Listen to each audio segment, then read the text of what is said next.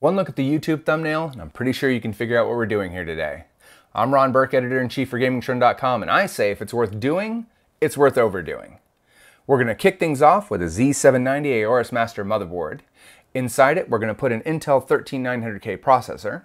For GPU, none other than NVIDIA's RTX 4090.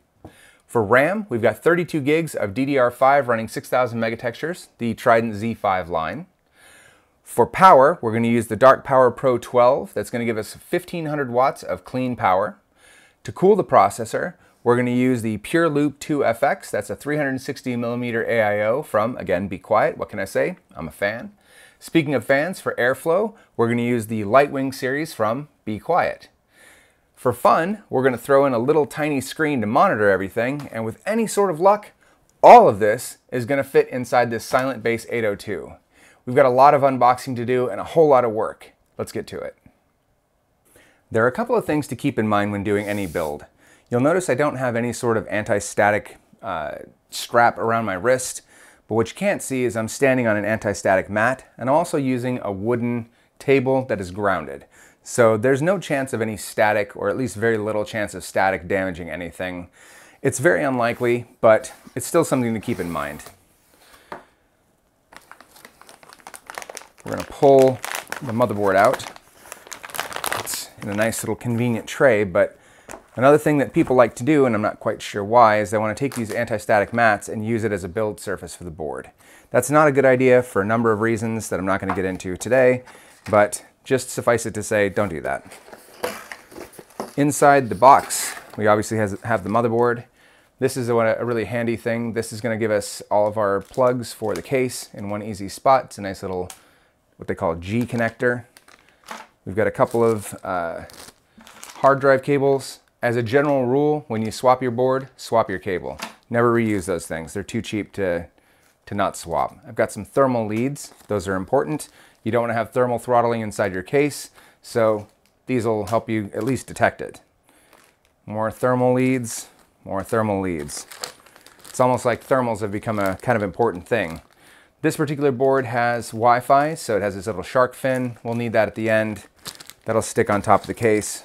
It's magnetized, so you can actually stick it in a number of different places. This is gonna be for RGB, if you're into that. We're gonna set that aside. That is the unboxing, other than one Aorus sticker. And, of course, instructions. We'll keep those handy just for funsies. Because this is Aorus, they also come with a number of stickers. So if you're into that, there you go.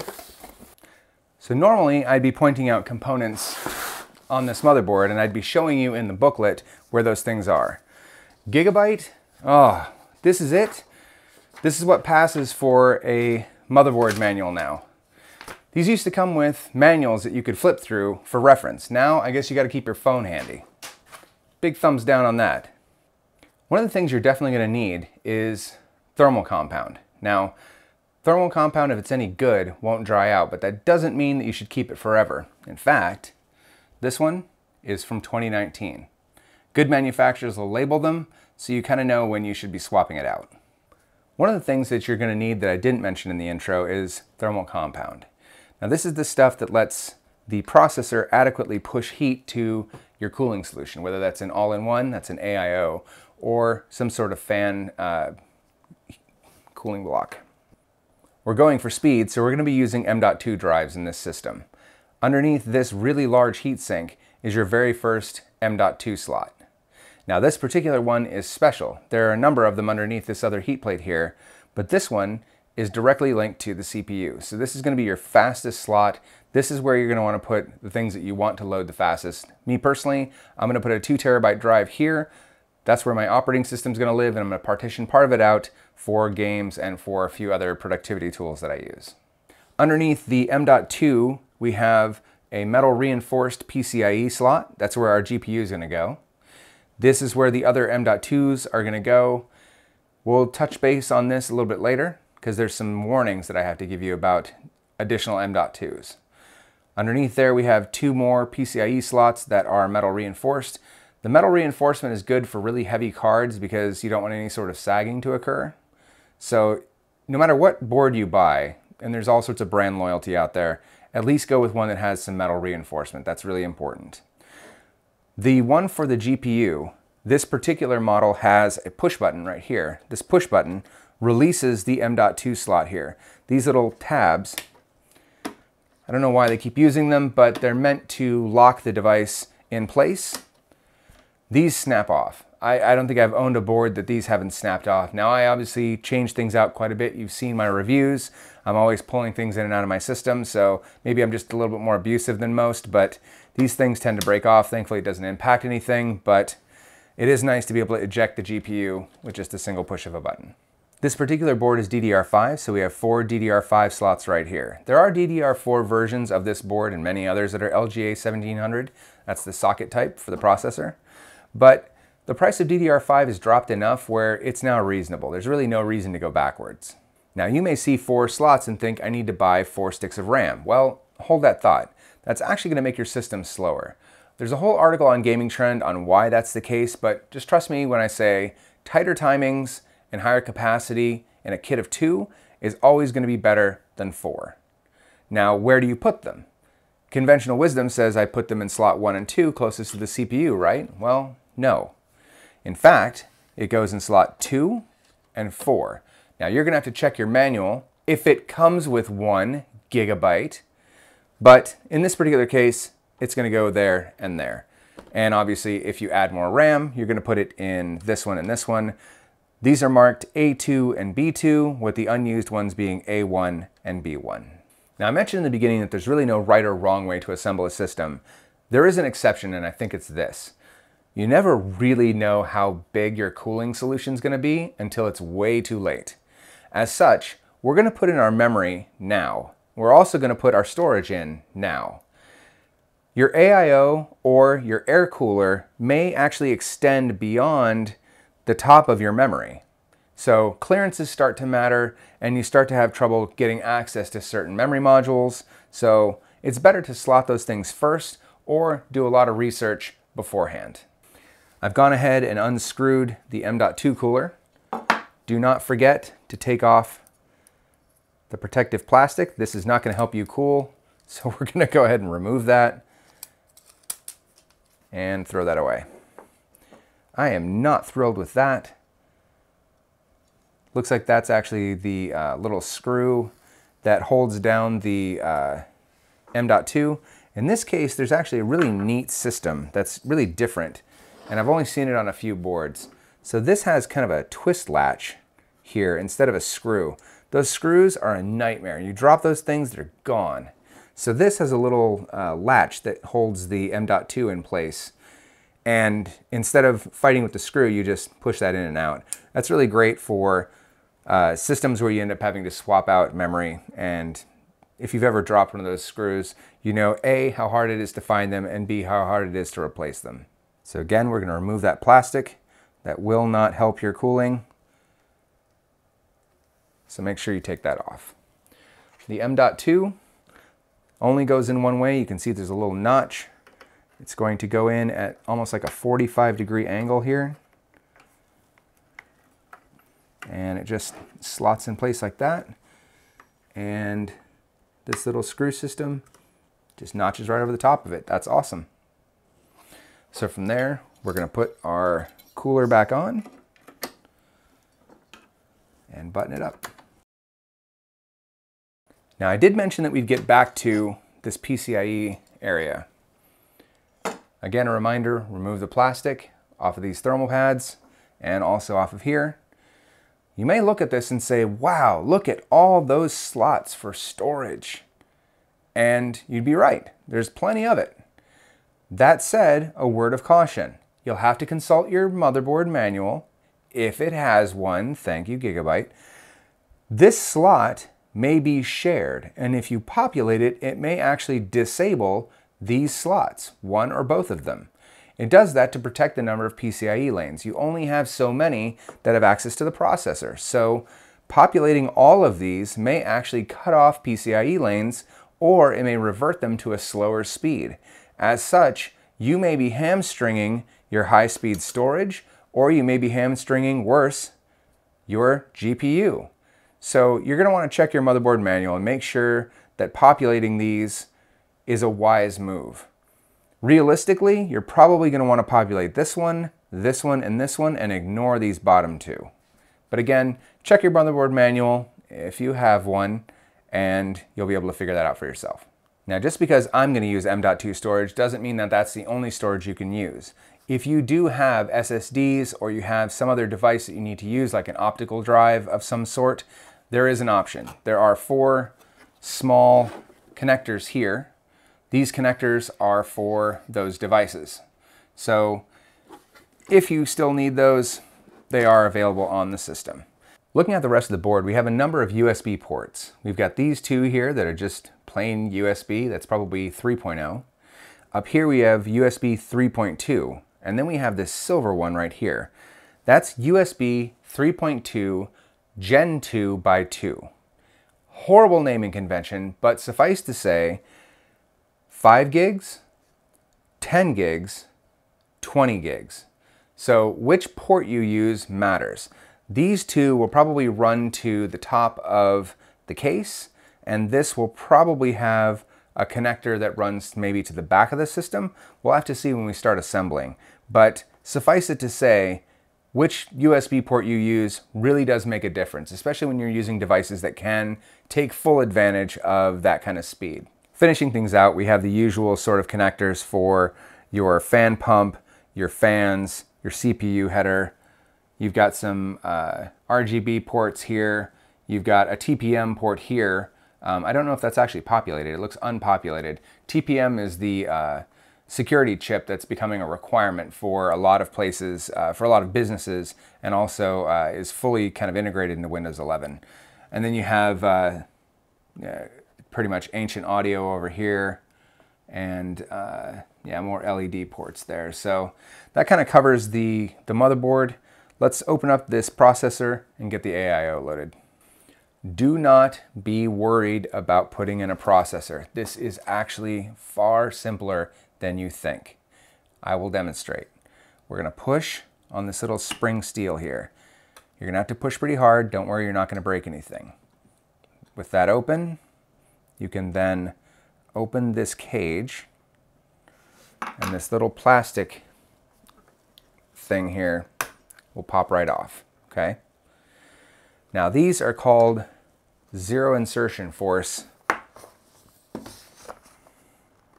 sockets, which is to say you're not going to be pushing on anything. What you're actually going to be doing is merely laying the processor in place. I like Intel's packaging. It's almost like a little wafer, like the real uh, full-size wafers that all these processors come off of. We're going to try and keep this very clean so I don't have to clean it any further. They should come clean from the manufacturer. So we're going to grip it from the side.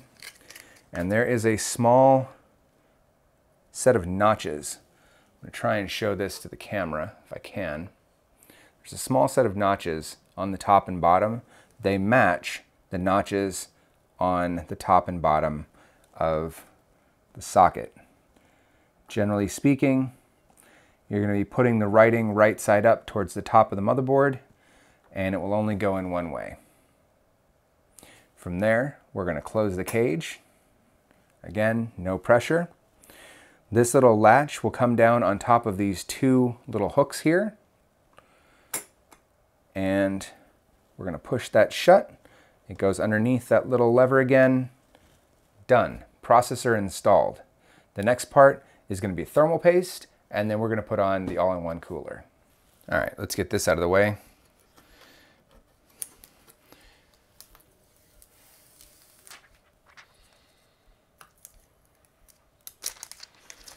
And then we're gonna slide this out of frame and we're gonna unbox the AIO.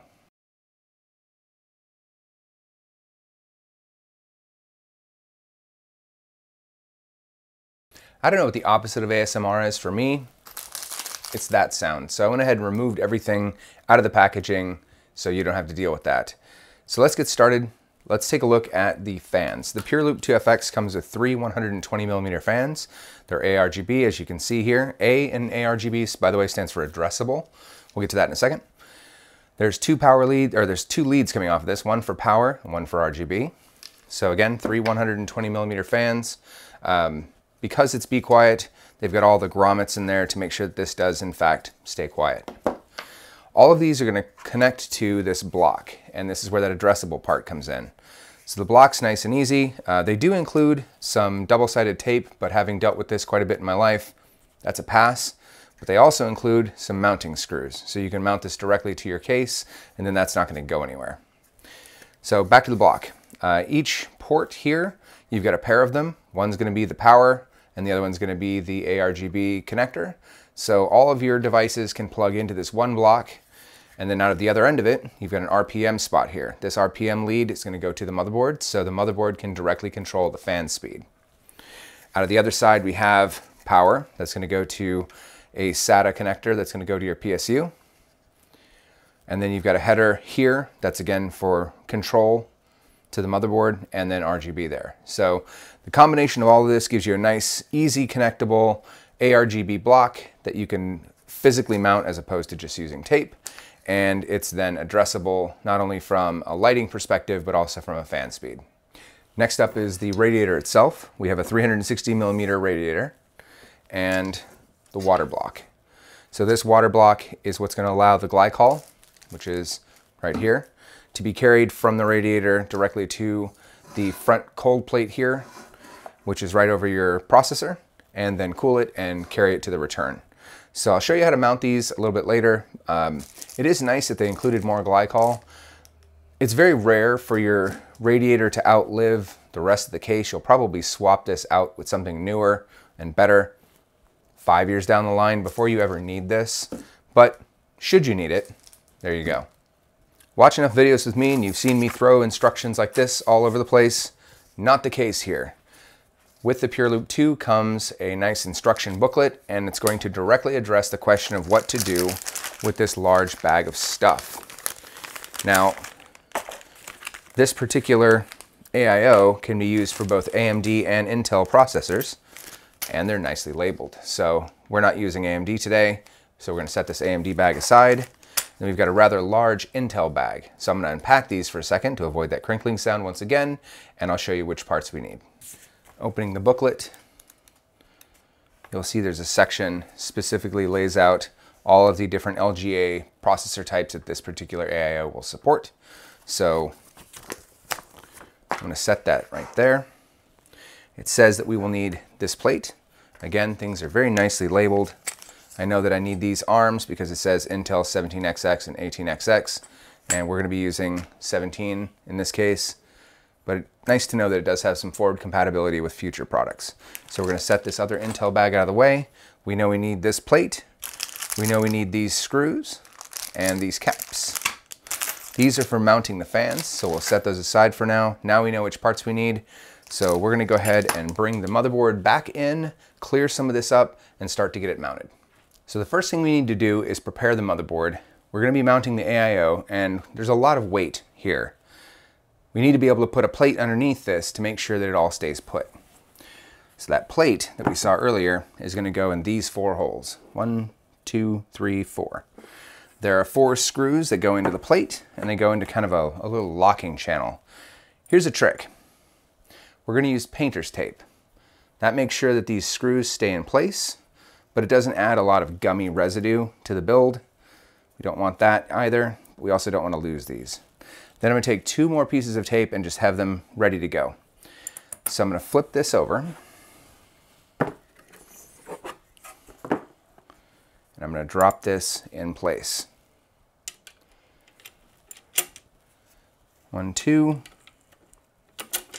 three, four, okay? Then we're gonna use one long strip to hold this from moving on each side. Now when I flip this over, everything should stay in place, just like that. Those four screws are ready to go. So if you learn nothing else from all of this, pick up the painter's tape trick. Now remember we talked about clearances, right? not knowing how far the AIO is going to stick over here. With a traditional cooler where you might have a bunch of fans and stuff, that might make things very, very crowded. here, you've just got this small block, but there's still something to be mindful of. You do have these two uh, pipes that are coming off of this, so you need to kind of eyeball it and say, all right, if that's sitting there, am I gonna have trouble hitting my memory? In this case, no. So we don't need to really worry about installing the RAM. Even if I were, I'm putting them in these slots, so they're still out of the way. So we're gonna kind of simulate this a little bit. We know that the screws are gonna end up on top and on bottom, so we're just gonna drop these in place and make sure everything lines up, which it does. So the next thing to do is the part that makes people really nervous, and that's putting thermal paste on the processor.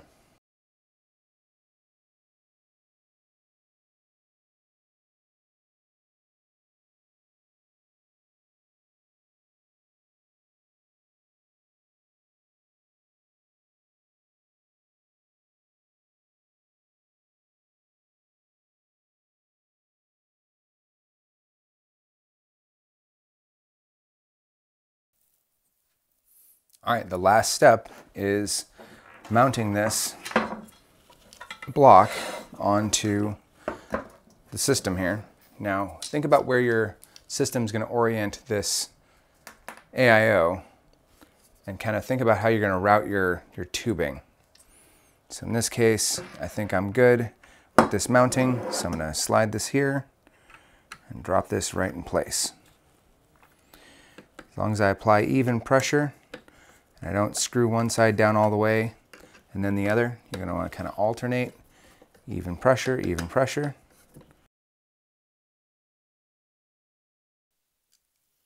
Just like that, fully mounted. Turn this to the side so you can see it a little bit better. But there we go. There is the Pure Loop 2 FX 360 millimeter fan and AIO installed and ready to go. But if you take a look here, you can see what I was talking about with clearances. Thankfully, this does not interfere with that first slot, so I still can reach those if I need to later without having to remove anything like the AIO. The next thing we're gonna do is mount these fans into the radiator. Now the question always is, well, I don't know what direction they need to go. Well, it's kind of easy when they're RGB. Face the RGB towards the inside of your case, and you're facing the right direction. The next thing you need to think about though is where's your routing for your cabling going to go. So think about that when you orient this inside the radiator. You know, you obviously don't want a bunch of cables hanging out the front like this. You're going to want to kind of hide the SIN in the back. So we're going to mount them like so, where the wires are all headed rearward so we can hide them behind the case. So I'm gonna go ahead and mount those up. You've seen a mount on a fan before. It's not really all that difficult. Put the long screws in the long holes and we're done.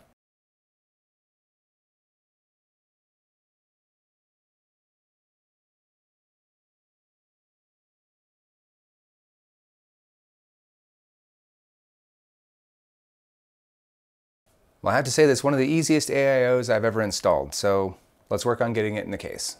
Now the objective is to be able to put everything inside this 802, so let's get it open and start figuring out if that's possible. This could be an interesting experiment if I can't get it all in the case. I'd like to thank FlexiSpot once again. This desk is amazing for doing builds. Being able to lower this thing and raise it as I see fit makes for some really easy assembly. I can always put this thing exactly where I need it.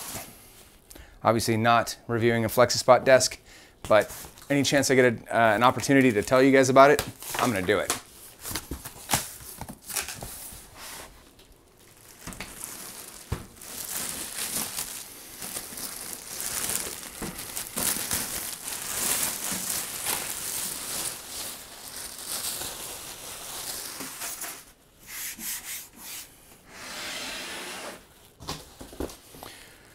Sure is pretty. Also in the box is mystery bag and mystery box number two. So we get all this stuff opened up.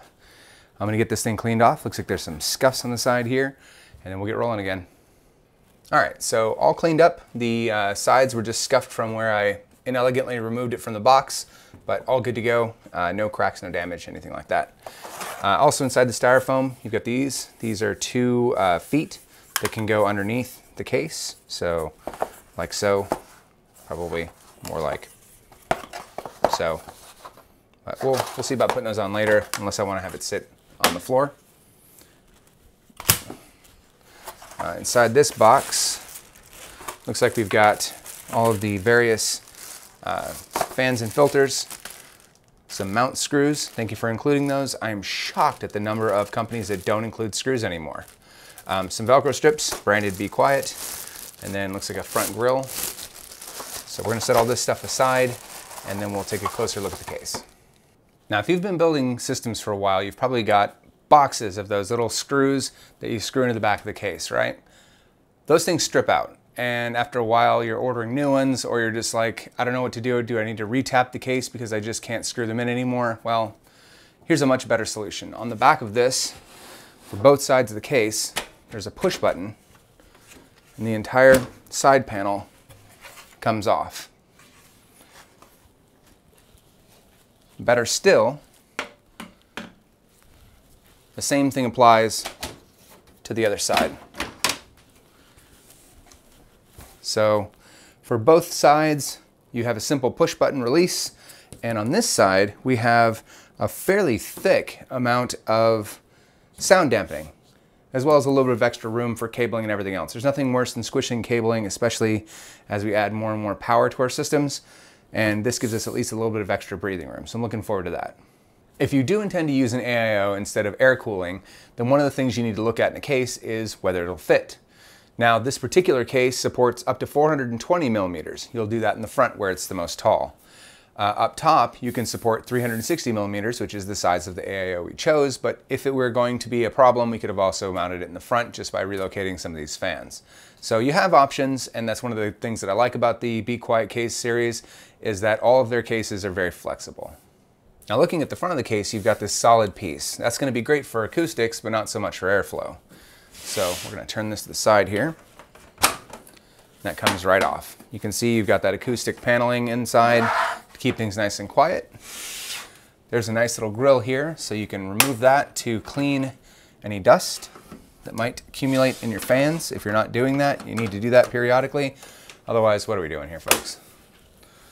And included is a second grill. So we've got this nice mesh flow uh, through grill. We can just slide that in place. And just like that, now we've got airflow. If you're still concerned about airflow, you have these top two plates on the top of the case. These also come off and are also acoustically dampened. So these slide right off and then we can take this small little grill here and drop that right in place like so. And now you've got even more airflow. Heading around the back of the system, you've got a hard drive cage down here. These screws make it removable, so you can slide that out and put in uh, spinning platters. I do like that they're nice and hidden. You don't have to occupy these spaces up here, but if you were inclined, you could knock these out and put in uh, five and a quarters up there. Uh, more realistically, you're probably going to use SSDs. So you've got a nice little detachable SSD uh, thing. You just mount your SSD there, drop that on. Same thing with this. You've got this whole bracket that you can remove. You can mount your SSDs and you can drop them right back in, right on the back of the motherboard. Uh, also back here, we have the first LED uh, header here. So these are connecting to the fans that are already included. Uh, the ones that are included with this case are not uh, the light wings like this. So we'll be removing those and replacing them with these to make it the most RGB build probably that I've ever done. As a follow-up, the little box that's hidden down here is in fact a hard drive cage, should you need it. We don't.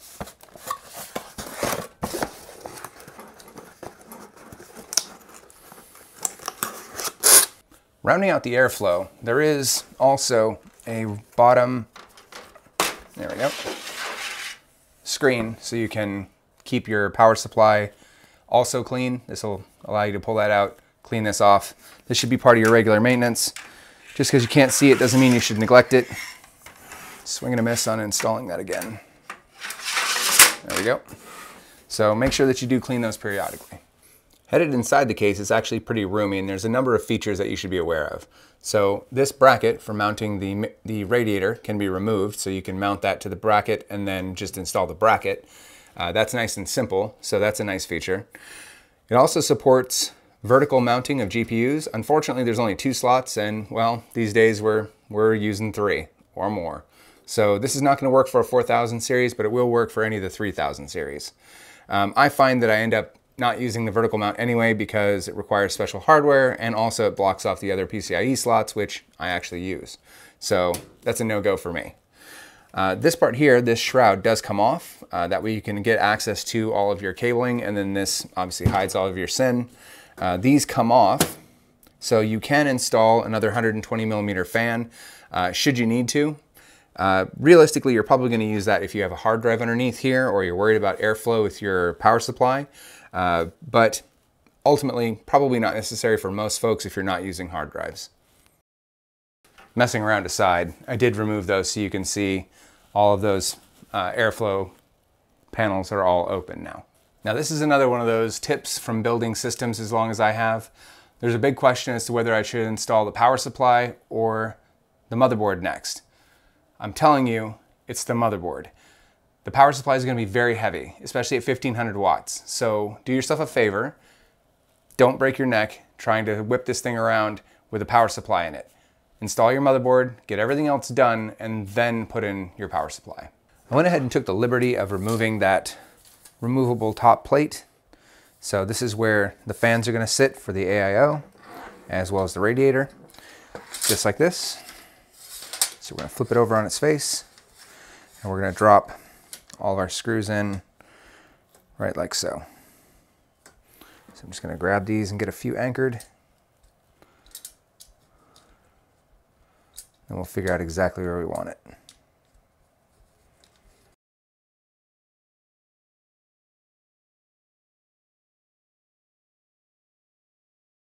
I do like a little bit more clearance between the base of the case and the floor, so I'm going to install these feet.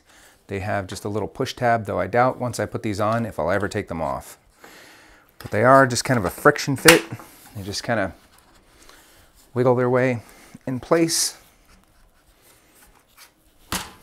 Just like that. And now I've got a little bit of clearance. It's better if you can do this with two people, but we're going to do it solo. We're going to kind of lay the motherboard in place like so. And then we're going to slide the AIO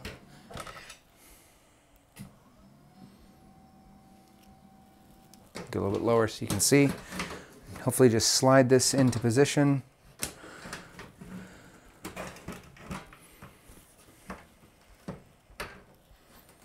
It's definitely a tight fit. There we go. Make sure we get all the wires out of the way. and of course the motherboard itself.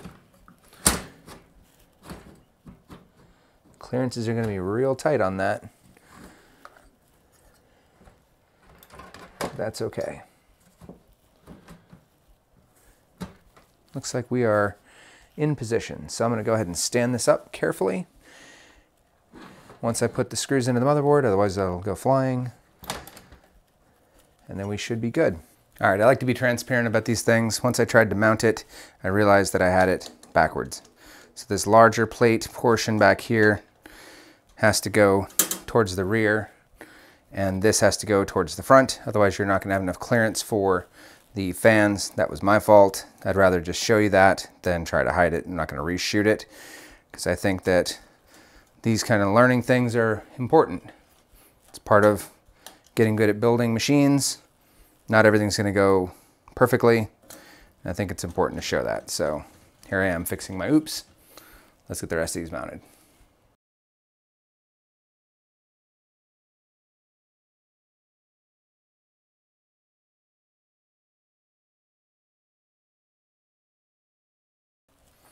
Now you may just have noticed that I, I loosened all of these because these didn't align.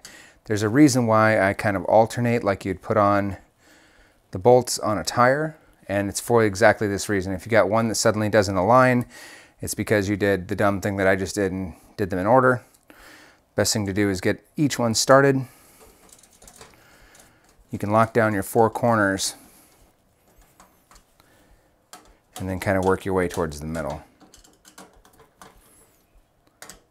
That'll ensure everything is equally locked down without anything being overly tightened and certainly nothing stripped. Little things that I've learned not to do and I did anyway. We all make mistakes. This is mine for the day.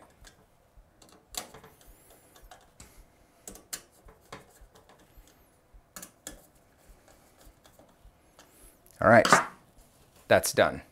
Now we'll just slide it in place, fingers crossed. And we can get back to actually mounting the board.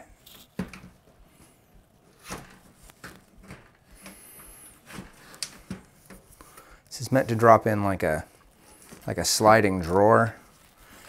I'm here to tell you, ah, it's not quite as easy as that. Or I'm doing it wrong. That's certainly a possibility as well, but it's very, very tight. Make sure all these cables are out of the way. This should drop down just a slight, slight bit more. Just there we go. Perfect.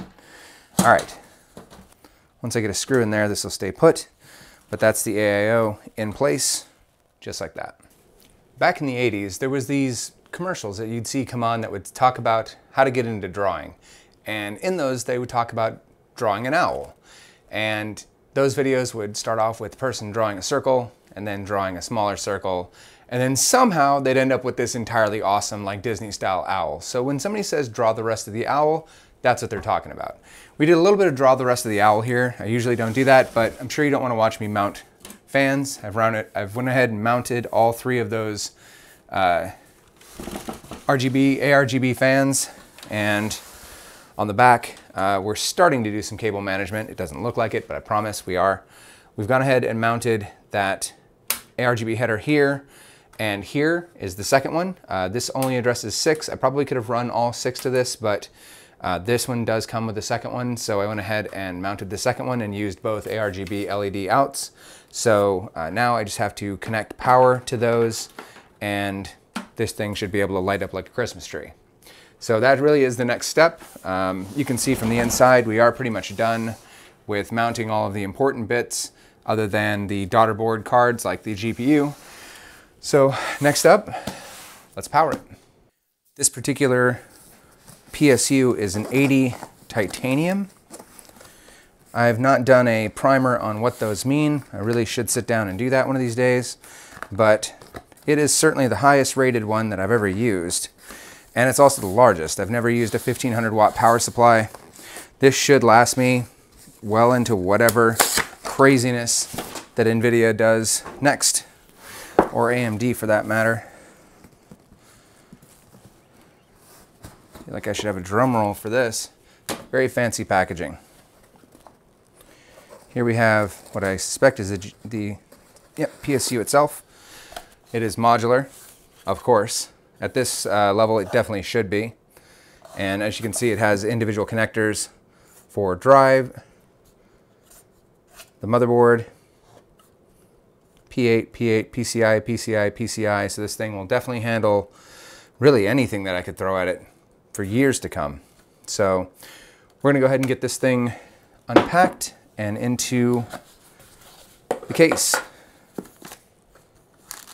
We'll be right back. I started unpacking the power supply and then I realized it probably would be a bit of a disservice to ignore all of the great things that are going on in this box. So rather than just draw the rest of the owl, I am going to take a moment and point out a few things. So just briefly, the 80 plus titanium means that this is, correct me if I'm wrong here, I believe it's 97.4% uh, efficient at 100% load. So uh, the lower you go in the scale, the less efficient that power supply is going to be. You don't want to run things when they're, you know, not being efficient. That's just poor for power usage. So there's that. Um, this does have a Silent Wings fan in it. Uh, it's not an RGB one, which great. That's fine. It's going to be pointing downwards anyway. Um, also, it is modular. The ports on here, me flip it back over. Uh, these drive ports are for all of your drive cables. And I want to point out, it comes with a number of zip strips and such. Your drive cables are labeled drive cables, so you know which ones are which. If you are new to all of this, that can be pretty handy. But if you are running a bunch of hard drives or optical drives or really anything other than NVMe, you're going to need some of these cables.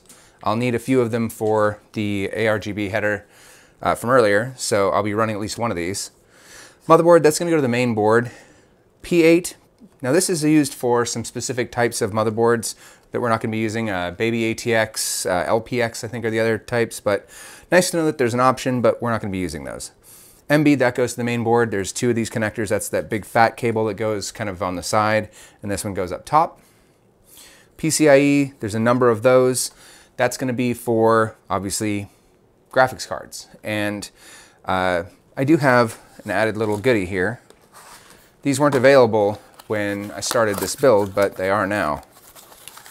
I'll give you the part number. It is Charlie Papa Hotel 6610. And if you are running a fourth gen, or sorry, a 4000 series GPU from NVIDIA, you're gonna want this. So rather than running that four-headed Hydra adapter, this is two connectors to the PSU, single connector to the GPU. So we'll be connecting that, but it needs just one cable and it's gonna, lock, it's gonna look a lot better in our case. And then obviously if you were running PCIe, uh, or sorry, if you were running SLI, this would be a, a, a PSU to do that. Um, underneath, there's another differentiator. This is main cables. And this is the part that I wanted to point out. When I buy PSUs from other manufacturers, typically I get precisely and only exactly what I would need to build a machine. This has, frankly, a ton of cables. So if I were to ever need a specific type of build cable, I've got it. There are times that I go back and I need uh, another type of cable or I need a second cable. Um, there are uh, measurement devices that are used for measuring uh, voltage at the GPU level. You need extra cables for that. So normally I'd have to go buy them. They're in this box. So that is a really nice addition. Uh, it's just, I just wanted to point out the quality and I'm pretty amazed with that and I thought I would take a second and point it out. Um, pulling up the, uh, the list of other goodies here.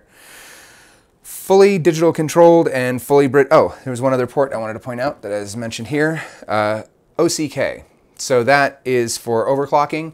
Um, if you wanted access to all of the uh, PCIe rails uh, separately, all the 12 volt rails, that's how you do that with that overclocking key. That enables uh, all six of them. And then one massive 12 volt rail, which obviously is what we're going to use this for.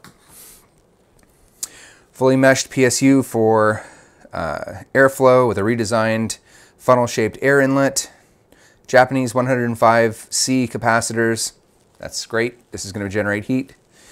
Aluminum case. That's going to be also great for heat dissipation. But the one that uh, really stuck out to me, and I wanted to also mention, 10-year power supply warranty. It's nice to see them uh, stand behind their, their device. I don't have power supplies typically that long, but this may be one that I actually keep with me for another build. You'd be forgiven for thinking that the next thing we're going to do is install this power supply, but again, this is not light, and I want to be able to move the case as much as possible for as long as possible. So instead, we're going to focus on getting all of these cables, our main board cables, our additional power cables at the top, and make sure that everything else is run and cable tied before I put in the power supply. That way I can maximize the amount of time that I spend with as little weight as possible. As I mentioned, inside the box, everything's all split up, so we've got these two main board cables. Those will go up to the very top of the motherboard here. We've got the really large uh, kind of primary power cable. That's gonna go obviously in the center of the board. And then one, two, three, four, five PCIe cables. So some to spare, as well as zip ties and Velcro, some additional plates for uh, the uh, these these plates, as well as uh, some spare screws and just uh, oh, and even some combs in here so you can clean up your cabling. So they've kind of thrown in the whole kitchen sink here. It really should make for a really nice system when we're done. At this point, I've got the 12 volt rail for the 4090 all wired through and at least some semblance of cable management back here. So now it's time to take the power supply and put it in. Uh, there is one other thing that's in the bag.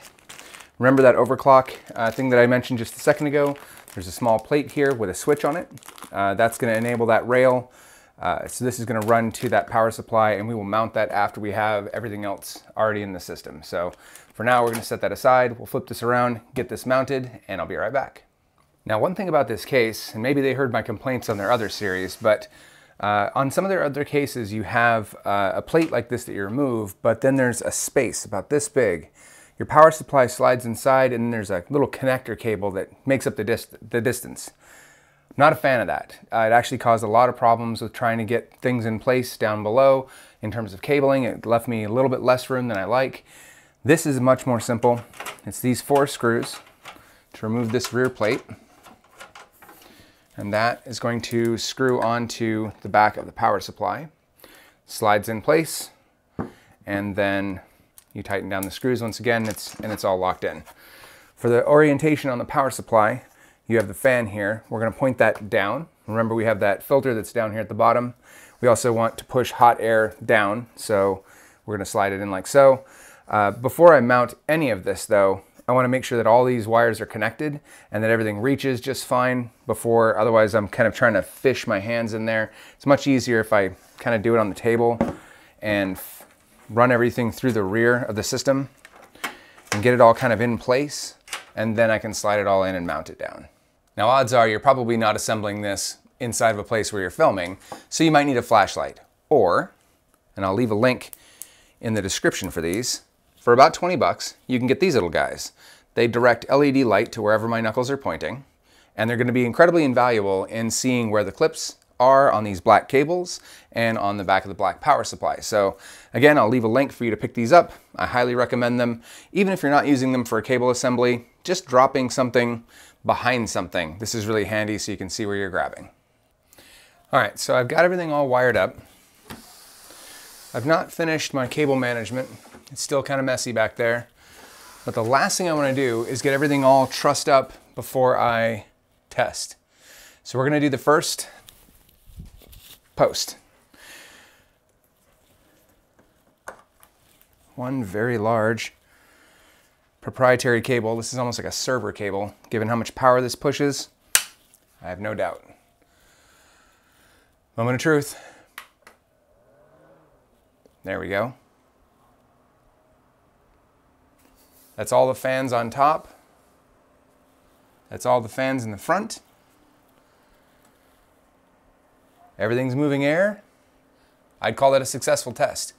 I'm gonna go ahead and clean up the rest of my wiring, then we're gonna start slotting components and finish this up.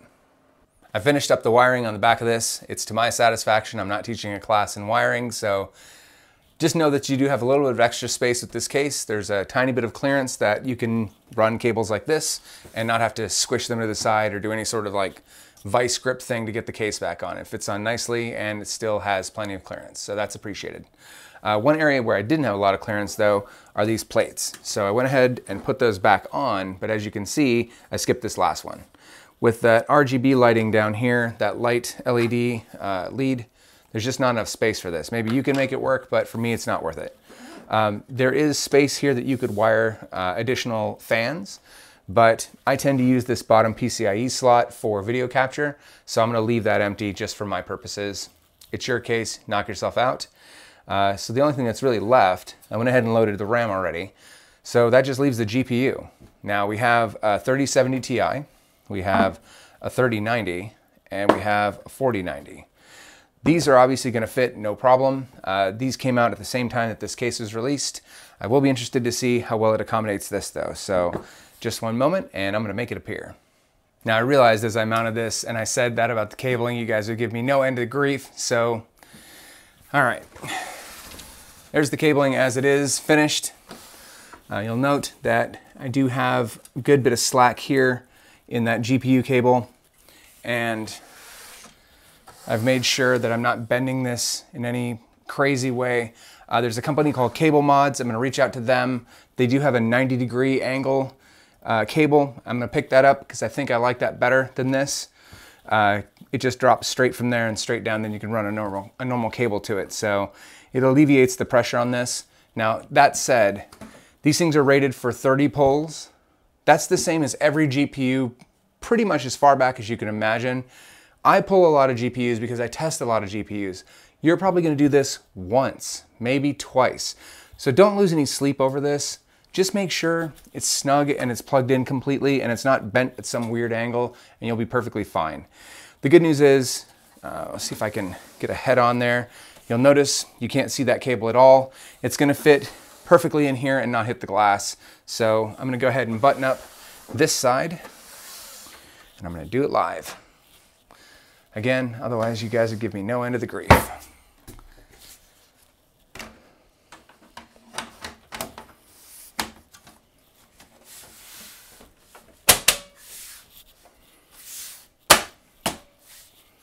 Just like that. As I said, it fits on nicely with no need to shove any cables or anything else. So I'm gonna grab the glass, we'll put the fan uh, covers on, the magnetic fan covers, so we can maximize the airflow. After that, it should be wiring it up to my screen, which is slightly off screen, and we'll do our first, uh, we'll do our first boot. I'm told you guys are all into this, so. Ah, fail.